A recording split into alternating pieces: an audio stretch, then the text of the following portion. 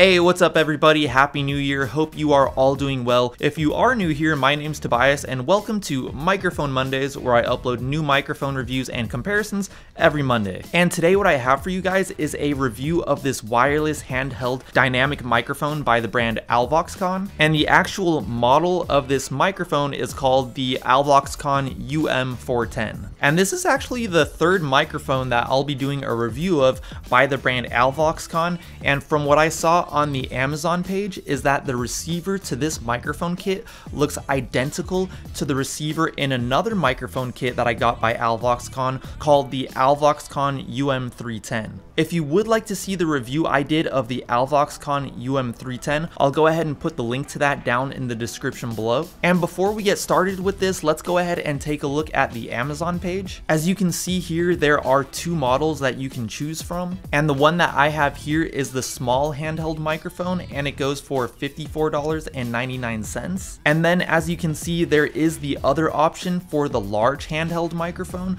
which goes for $64.99. And I'll go ahead and put this Amazon link down in the description below in case you want to take a look at that for yourself. And from what I saw, it looks like there are really only two differences between the small option and the large option. The first is that the small handheld microphone is powered by a rechargeable battery, while the large handheld microphone is powered by two AA batteries, and the other difference is that the small handheld microphone should get a range of 60 feet, while the large handheld microphone should get a range of 80 feet. So let's go ahead and do a quick unboxing, then I'll do a demonstration, and then I'll give you guys my final review of this wireless mic kit. And just really quick, if you do like this video or if it helps you out, I would really appreciate it if you went down there and gave this video a like. That would help me out so much. And if you would like to see more videos by me in the future, make sure to go down there and hit that subscribe button and also that bell notifications button. And let's go ahead and get started.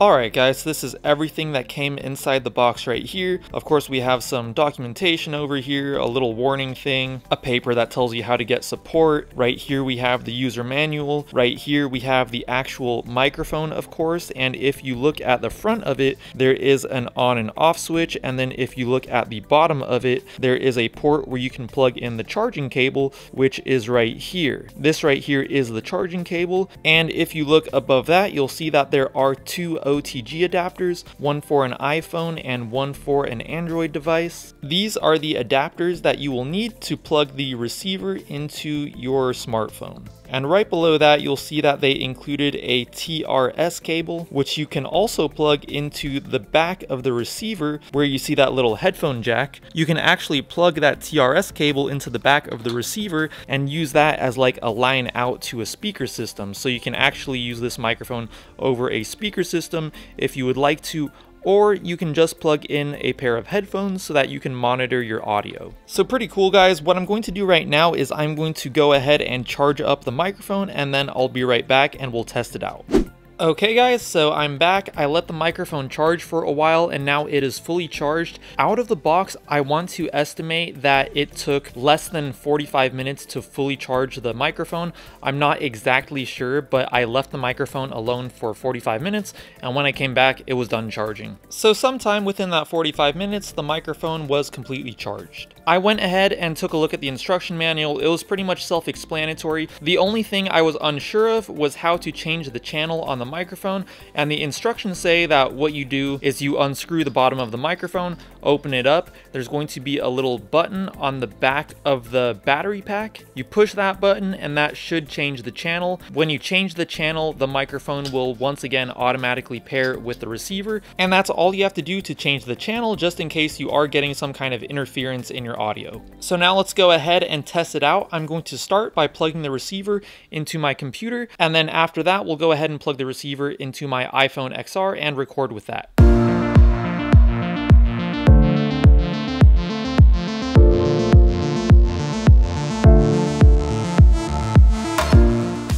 So I'm recording to Logic Pro and once I plugged in the receiver and turned on the microphone, Logic Pro already recognized the microphone as USB PNP audio device. So I'm gonna go ahead and just click use And when I go into my system preferences, you could also see it here. It says USB PNP audio device. Okay, guys, so the audio that you are now hearing is coming from the Alvoxcon UM410. I have it right here. I'm recording to Logic Pro. And I'm actually pretty impressed by how the audio sounds. I'm actually monitoring the audio as I record this. And we're actually getting some pretty decent audio and we're not even getting a very loud noise floor, which is something that I am used to seeing pretty often in these like less expensive wireless mic kits. So considering that this is a $54.99 mic, I think the audio is pretty decent. One thing that I did notice when I first started using it is that I had to turn my input volume down significantly. It's only up about a quarter of the way in my system preferences because the microphone was peaking a lot. So you do have to adjust your input volume quite a bit, but once you get that adjusted, the audio is actually pretty decent. You might notice that we are getting some plosives. I have this wind muff. I'm just to put it on the microphone and see if it makes a difference. So now the wind muff is on the mic. From handling the microphone, you might notice that we do get some noise if you're handling the microphone, but honestly, it's not that much. This is actually sounding um, a bit better than what I thought it would sound like. I'm gonna stop talking for a few seconds and just take a listen to the noise floor.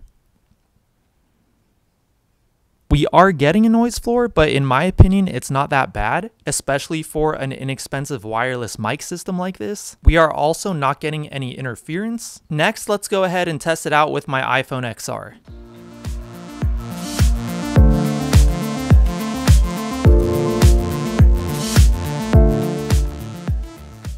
Okay guys, now we are recording this using my iPhone XR. I have my headphones plugged into the back of the receiver so I can monitor the audio as I record this. And once again, I think it sounds pretty good. Let me know what you guys think down in the comments below. Let's see how it sounds as I move the microphone around. I'm going to go ahead and bring it down below me. Now I'm going to go ahead and bring it back above me. I'm going to go ahead and go from left to right check, check, check, check, check, check, check, check, check.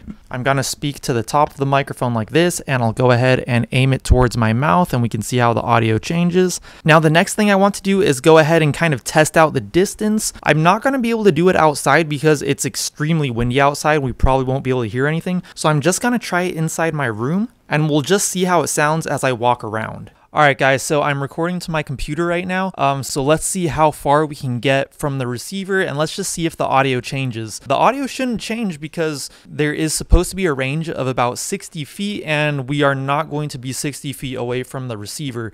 Like I want to say right now, we are maybe 15 feet away, maybe 15 feet away. However, there is a wall separating us from the receiver, so that might impact it somehow. So I'm just going to walk over here, check, check, check. Let's see if the audio changes at all. And now let's go ahead and walk back over to my computer. And I'm to go ahead and take a listen to the audio and I'll see if it cut out at any point or if we got any kind of interference. And I'm almost back. I'm almost back. And I'm back.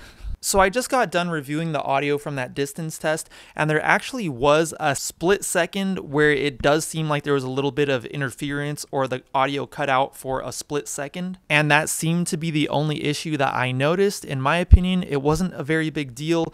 We did have a wall blocking us from the receiver. I feel like that might have had something to do with it, but I am pretty curious to try out the full extent of the distance that this microphone system can get. So if you guys would like to see see me do that, let me know down in the comments below. Unfortunately, I won't be able to do that in this video just because it's so windy outside. And if I try to record outside, we're just going to hear like from like the wind. So I'll have to do that in a separate video if you guys would like me to. But from what I can see in a short distance, like a few feet or so, there are no issues regarding interference or audio cutting out.